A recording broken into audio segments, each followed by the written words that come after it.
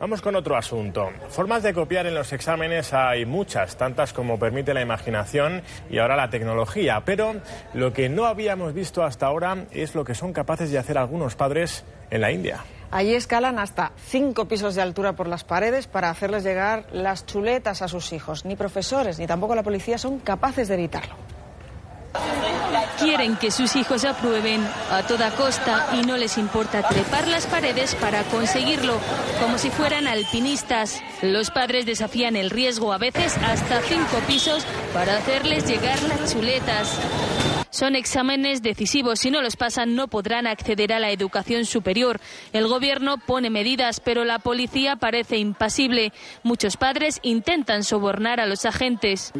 Hay entre 6 o 7 millones de personas que ayudan a los jóvenes que hacen trampa. ¿Es solo responsabilidad del gobierno gestionar a tantas personas? En algunos institutos niegan lo evidente. Si los estudiantes hacen trampas, no serán capaces de progresar en la vida, pero eso no ocurre en mi centro. Cuando eso pasa, se les expulsa. Van 600 estudiantes. Si los padres son descubiertos, se enfrentan a multas e incluso a la cárcel. Aún así se arriesgan. La mala calidad de la educación les lleva, dicen, a probar métodos alternativos.